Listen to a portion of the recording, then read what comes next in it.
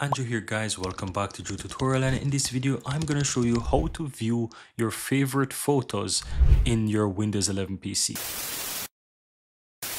So I've done this by favoriting some photos on my computer and I'm to show you where those photos are stored as well. You get a sneak peek into some of my photos as well.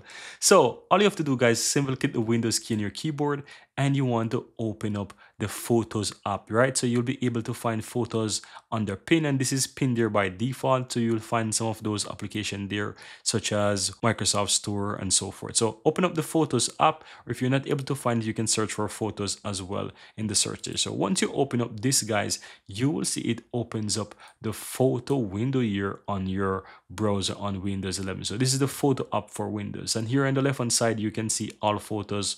You might have OneDrive there, cloud photos as well, and of course folders as well. So if you click on the favorites, you will see that it loads your favorites. And as you can see here, I have a bunch of photos of myself and my, my son.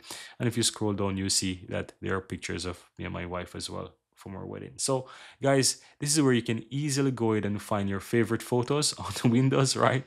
On your Windows 11 PC. Here you have it guys. I really hope you found value within this video. And if you do, don't forget to take a moment to give this video a like and hit that subscribe button so that you'll never miss out when I release future videos just like this one. Thank you guys for watching and see you next time.